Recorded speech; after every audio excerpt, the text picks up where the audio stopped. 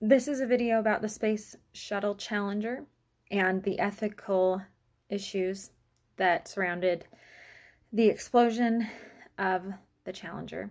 The first question that I wanted to talk about was what could NASA have done differently in regards to the space shuttle? Um, NASA, from what I read, was made aware of the O ring issues as early as 1977, and the Challenger did not um, take off until 1986. So they had the better part of a decade to come up with a better solution for the O rings. Um, the other concerns that caused even more issues with the O rings was the weather. Um, they decided to push back their um, takeoff due to weather issues, but then decided they needed to have it up in the air in January. And typically in January and February, that wouldn't have been an issue, but um, temperatures were expected to get down to 20 degrees. Um, and the O rings had only been tested to be working at down to 40 degrees. So they made the decision to do it anyway, even though the issues were made more prevalent at lower degrees.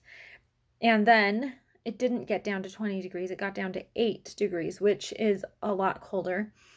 Um, and then they formed ice when they were trying to make sure that um, things wouldn't freeze. They were um, spraying water on them. And it just seems like every single thing they did was the opposite of what they should have done. They um, made everything much worse.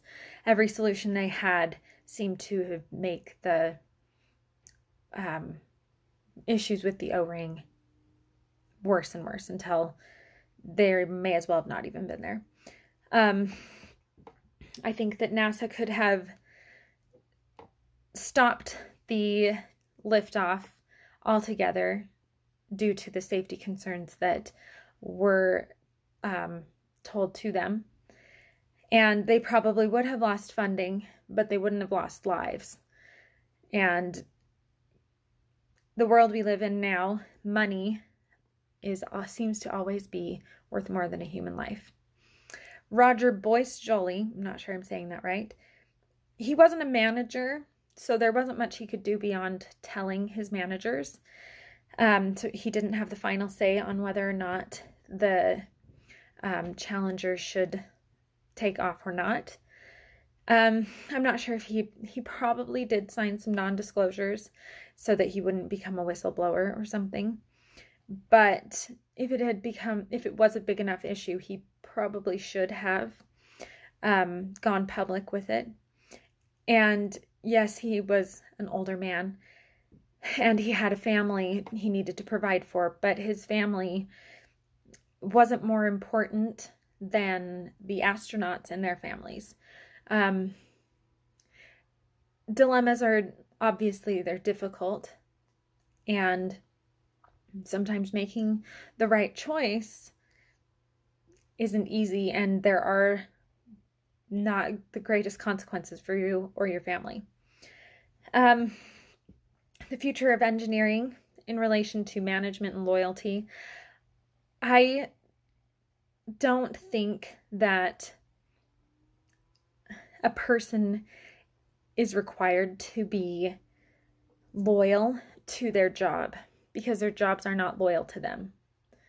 You want to have some loyalty, but when push comes to shove, your employer will not think twice to let go, let you go if they have to.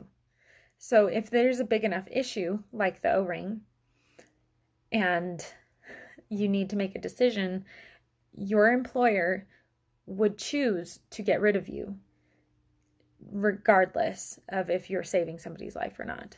And that's I don't think that you should be loyal to a company if they're not loyal to you and they're they're not loyal.